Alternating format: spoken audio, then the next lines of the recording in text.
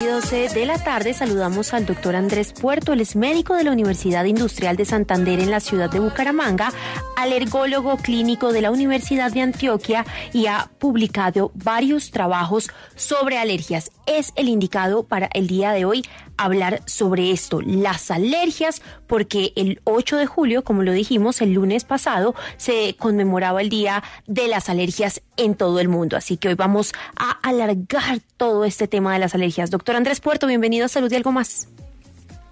Buenas tardes a toda la mesa y gracias de nuevo por la invitación. Pues doctor, yo tengo una pregunta que creo que puede surgirle a cualquiera de nuestros oyentes y es, ¿cómo saber que somos alérgicos? Necesariamente para uno saber que es alérgico, alérgico tiene que haber pasado por síntomas o haber pasado por un episodio de un mal rato con algún con alguna comida o con algún fármaco. Bueno, las alergias pueden ir desde las alergias leves, eh, donde al contacto con sustancias o en el consumo de alimentos presentamos algún síntoma, ya sea rasquinas, ronchas, eh, dificultad para respirar, síntomas aislados, hasta una alergia grave cuando unen todos estos síntomas al mismo tiempo, de dificultad para respirar. Doctor, denos un segundo, un segundo, porque la información que usted nos está dando está muy importante y es muy importante y así vamos a seguir un rato el programa y tenemos una conexión de internet muy débil con usted, entonces ya le vamos a remarcar. Carolina, estábamos hablando y decía el doctor algo muy importante sobre las alergias y es que bueno, hay veces que sí pasa porque uno tiene un síntoma y le toca, pero también uno puede hacerse exámenes que lo lleven, le lleven a uno a comprobar si uno es alérgico a algo o no. Sí, yo sé que esos exámenes, Camila, porque sigo a los doctores, ellos, esos exámenes como que haga de cuenta le inyectan, creo que si no estoy mal le ponen unas inyecciones de diferentes tipos de alimentos, son muchísimos pinchazos en el brazo o en el cuerpo para ver la persona cómo reacciona. Entonces haga de cuenta, usted le inyectan un poquito de polen y si ahí se inflama y se dan cuenta que es polen, le inyectan un poquito de otra sustancia y así van ellos detectando qué tipo de alergias hay. Pero el problema, y le cuento mi caso, Camila, es que a mí, por ejemplo, la alergia no me da inmediatamente, me da hasta las siguientes 24 horas. Entonces es más difícil, porque imagínese cómo hace uno para saber qué le pasó. Mientras nos conectamos con el doctor, le voy a contar una vez que me pasó a mí con unas uñas. Me puse unas uñas de estas que son eh, de pegante como postizo. Sí. Y el pegante me generó tanta alergia que al otro día cuando me levanté no podía abrir los ojos, estaba casi completamente ciega de lo inflamada que estaba y empecé a pensar, pero ¿qué comí? ¿Qué comí? ¿Qué comí? Era el pegante, pero me di cuenta hasta 24 horas después. Entonces las alergias llegan a ser hasta más delicadas porque uno no sabe. Creo que ya tenemos al doctor. Sí, ya, ya está ahí. Doctor, nos estaba contando entonces cómo hacer para saber si somos alérgicos a algo sin tener que pasar por un mal episodio. Mira, las alergias pueden ir desde las leves, donde al contacto con alguna sustancia, ya sea en el aire o en contacto con piel, o con el consumo de alimentos podemos tener síntomas aislados, ya sea dificultad para respirar, ronchas en todo el cuerpo o un malestar eh, eh, abdominal, hasta una alergia grave donde se juntan todos estos síntomas con estas sustancias, al mismo tiempo se presentan los síntomas y en estos casos puede correr el riesgo de la persona incluso llevarlo a la muerte. Mire, doctor, yo ahorita estaba contando un, un caso que a mí me pasó y es que yo me puse unas uñas postizas y definitivamente lo postizo no va conmigo porque usted no se imagina esos ojos como se me pusieron. Pero el problema es que no fue inmediato, sino a las 24 horas la reacción, doctor. ¿Cómo hace una persona a la que le da una reacción tan larga para identificar qué fue? En esos casos, eh, la primera eh, impresión que uno puede tener como especialista es que el paciente le indique que con el contacto con cierta sustancia presentó los síntomas. En tu caso, así hubiera sido 24 horas antes, fue como la acción que lo más, eh, que lo más probable le desencadenó los síntomas. Porque por lo general el paciente tiene muy claro qué fue lo que tuvo de contacto o ingirió o algo nuevo que haya ingerido que le generó los síntomas. Incluso el paciente lo que hace es esperar y vuelve y repite a ver eh, sin consultar al médico para ver si fue esa situación lo que le generaron los síntomas. Mira, doctor, que me surgió una pregunta y es, ¿tiene algo que ver el tipo de alimento, supongamos que, la, si, si, uno es alérgico a la naranja, que la naranja sea una naranja más amarilla y la otra más naranja, o sea, eso, eso tiene que ver, ¿por qué lo digo? Porque conozco a una persona que es alérgica a la naranja, pero una vez se le dio naranja combinada con zanahoria y ahí ya no fue alérgico. ¿Cómo, cómo saber o cómo, sí, cómo mirar esos componentes? Mira, eh, lo que se observa en el caso de los alimentos, más que con los componentes, es la cocción a la cual se hace el alimento. Eh, hay ciertos pacientes que con el consumo de sustancias mm, muy horneadas no presentan síntomas pero medianamente cocidas o incluso crudas es donde se presentan los síntomas. Les voy a poner un ejemplo, el huevo. Un niño que sea alérgico al huevo puede tolerar formas horneadas del huevo, como por ejemplo el pan, pero si tú le das huevo revuelto o le das eh, ponque con glaseado, el niño va a presentar síntomas. Hablo del glaseado, el pues eh, este es clara cruda y le puede generar los mm. síntomas. Y esto sucede porque el niño es alérgico al huevo y estas proteínas cuando se exponen al, al calor generan un cambio en la conformación de la proteína del huevo y por ende ya no es reconocida por el cuerpo. Entonces valdría la pena, por lo menos en el caso que me pones, mirar si fue que esto fue cocido y alteró las proteínas de la sustancia a la cual era alérgico y por ende no presentó la alergia. Interesante. Mire, doctor, tenemos a Ana en la línea. Ana, que le quiere preguntar al doctor Puerto? Hola, muy buenas tardes. Es que quiero preguntar algo con respecto a la penicilina. A mí me hicieron una vez la prueba de la penicilina y salí alérgica. ¿Ya de por vida quedó alérgica a la penicilina? Esa es una muy buena pregunta y aprovecho para hacer la aclaración. La alergia a la penicilina, nosotros hacemos las pruebas siempre después de, no antes de, antes de o después de la reacción. Dado que cuando hacemos pruebas antes de, la prueba puede salir positiva, pero lo único que nos está diciendo es que el paciente reconoce, pero la alergia verdadera son síntomas más una prueba positiva. En el caso específico de la penicilina, en ningún documento está indicado que se deban hacer pruebas en urgencias. Nunca, jamás se deben hacer este tipo de pruebas. Primero, porque no está indicado. Segundo, porque se hacen mal.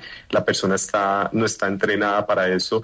Y tercero, porque eh, las pruebas de penicilina se hacen después de que tenga la reacción. Y aclaro, por menos algo que ya está establecido por estudios, de 10 pacientes que dicen ser alérgicos a la penicilina, solo uno es verdaderamente alérgico y el hecho de catalogar un paciente con alergia a la penicilina le bloquea más de 15 a 20 medicamentos. Mire, doctor, nos pregunta un oyente, ¿cómo saber si es alergia o es sensibilidad?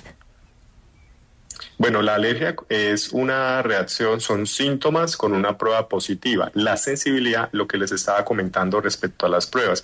Yo con hacer unas pruebas sin que el paciente tenga ningún síntoma, estoy, estoy demostrando la sensibilidad, es decir, el reconocimiento por parte del cuerpo. Y la alergia son síntomas que tenga el paciente con una prueba positiva, ahí se confirma la alergia.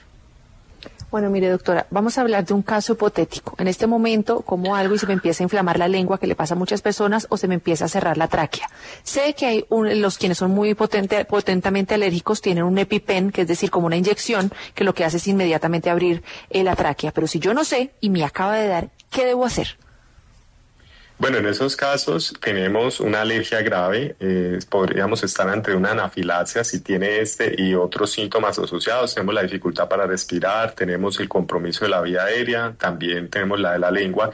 Ese paciente tiene que irse urgente, rápido para el servicio de urgencias, dado que el único medicamento que está indicado en estos casos se llama adrenalina y este es el medicamento que se debe eh, administrar. Y aprovecho esta entrevista para hablar con los médicos y todo el personal de salud que está en servicio de urgencias, que ese es el único medicamento que de primera línea se debe administrar en casos de alergia grave, es decir, de anafilaxia. Doctor, ¿qué debemos hacer si nosotros llegamos a encontrarnos en un episodio de una persona que es alérgica a algo y que empieza a hacer de pronto sarpullido o que empieza a perder la respiración? ¿Cómo debemos actuar? ¿Debemos darle agua? ¿Debemos comprar alguna medicina? ¿Qué podemos hacer? Ante el episodio que nos mm, mencionas en la entrevista, siempre lo que digo es dirigirse al centro de salud más cercano, que es donde tienen los medicamentos, no dar agua, porque puede ser un paciente que está en curso de una, eh, un edema de laringe, es decir, se está cerrando la garganta y lo podemos ahogar a este paciente eh, también puede estar presentando síntomas gastrointestinales, entonces no darle ningún tipo de medicamentos. La gente opta por tomar antialérgicos esperando que se mejoren, pero si estamos ante una alergia grave, este paciente tiene que ser rápidamente atendido en urgencias. De hecho, estos pacientes tienen que pasar derecho a reanimación si están ante una alergia grave porque eh, en cuestión de minutos este paciente se puede complicar, incluso se puede morir. Mire, doctor, yo lo seguía en las redes sociales. El otro día estábamos viendo el caso de una, de una influencer muy, muy conocida en Bucaramanga que usted la mostraba. Ella tiene 10 gaticos, no tiene tres, ¿no? Es 10, tiene 10 gatos. Y ella era es ultra alérgica a los gatos y comenzó con uno, con dos gaticos y ya va en diez porque usted le ha manejado la alergia. A mí me interesó mucho, aprovechando que tenemos la entrevista, que usted nos cuente esta gente que tiene la alergia al gato y que le dice a uno, mi pareja ahora tiene gato, ¿soy yo o el gato? ¿No? O sea, más o menos le, le dicen a uno así. ¿Qué podríamos nosotros decirle a esos oyentes que tienen alergia a un tipo de animal? ¿Se puede tratar y la persona tener su mascota si tiene pasión y amor por los animales?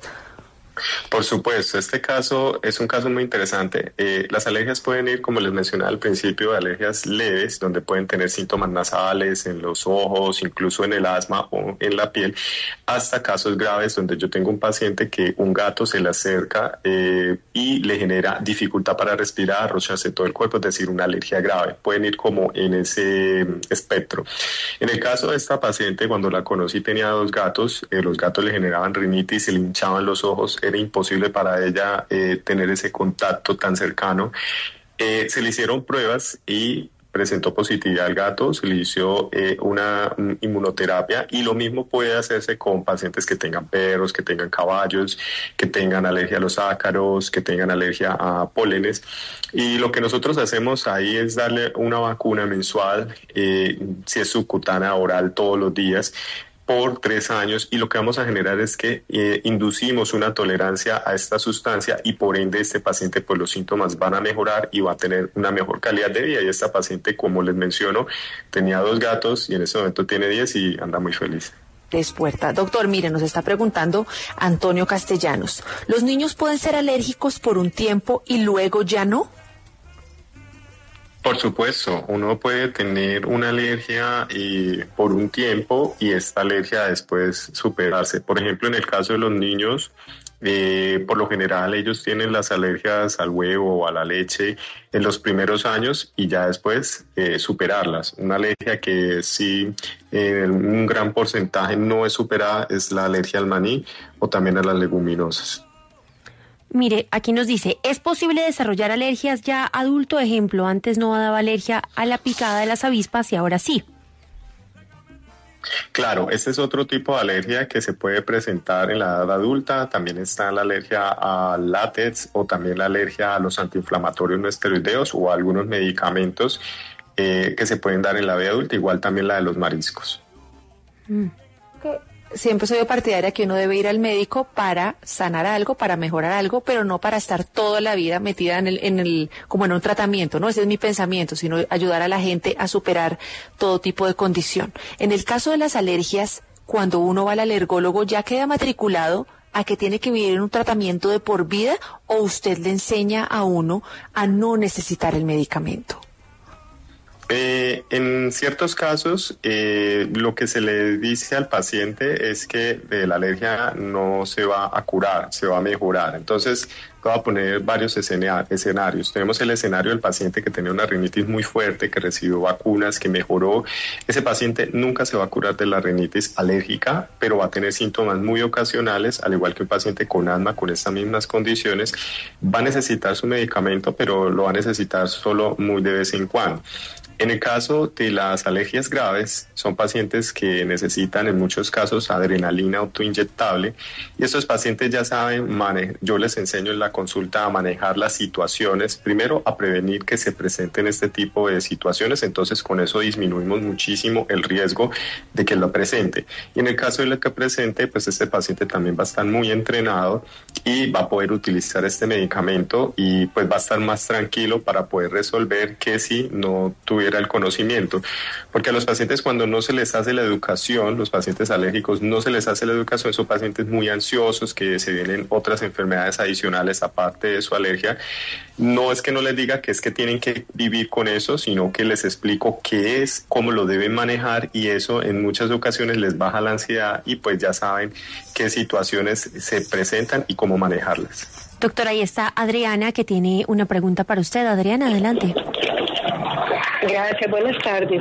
Doctor, eh, resulta que mi hijo tiene, hace unos cinco años tuvo un, episodio de una dermatitis muy fuerte que empezaron como unas monedas en el cabello, se le cayó el cabello, pero llegó al punto, o sea, le habían puesto como tratando de aliviarle, le habían puesto unas, unos, unas inyecciones de estos cortisonas, algo así, que lo empeoraron y se le cayó toda la piel lo que eh, lo condujo fue una septicemia porque entró una, una bacteria por contacto, algo que le... Gracias a Dios salió de eso, pero él vive en otra ciudad. Entonces, el tiempo que estuvo aquí, la dermatóloga que lo trató le hizo prueba de alergias y concluyó que tenía una fuerte disposición a, a, a reaccionar al cemento, a la pintura. Mi hijo se alivió porque estamos hablando de hace cinco años, pero ocasionalmente allá donde vive, que es Costa Rica, presenta otra vez parches ya no en la cabeza, sino en la piel. Y en este momento está aquí en Colombia eh, y tiene unas, tiene como unas llagas como si se hubiera quemado con cigarrillo en diferentes partes del cuerpo. Desafortunadamente, pues el tiempo no le da para más. Hoy donde un dermatólogo lo mandó a desintoxicar pero a mí nada tristeza es que pueda empezar un tratamiento y no lo pueda continuar. Dígame usted qué es lo que puede ocasionar eso. Estuvo con una, estuvo con una parte, o sea, el susto que le da de volver a recaer, se limpió mucho el organismo con vinagre de manzana, pero también eso, o sea, funcionó un tiempo, pero ahorita mire que ahorita la piel tiene muchas, muchas, muchas, muchas partes que parecen quemaduras de con cigarrillo. ¿Qué me puede aconsejar? Bueno, lo primero, lo que me mencionas es que hay que mirar qué tipo de dermatitis tiene, como menciona, puede ser una dermatitis atópica, que es una piel muy seca, que con sustancias, con cremas, con jabones podría mejorar, pero también mencionas eh, una especie de dermatitis de contacto por unas pruebas que escuché algo del cemento y otras. Eh, habría que mirar qué tan relevante es decir si eso está relacionado con lo que está presentando su hijo y en el caso de la dermatitis de contacto, lo único es la evitación, una adecuada evitación, porque a veces no se hace de la manera adecuada, y también el manejo de la dermatitis con las cremas adecuadas para que este paciente no tenga recaídas y tampoco tenga infecciones sobreagregadas en la piel. Pues, doctor Andrés Puerto, muchísimas gracias por estar hoy con nosotros y por favor recuérdele a todos los oyentes dónde pueden encontrarlo para saber más sobre alergias. Bueno, pueden encontrarme en doctor.alergias en Instagram. Ahí está el link de mi perfil para solicitar cita y también en mi página web www.doctoralergias.co, donde pueden también solicitar cita y leer información importante sobre las alergias.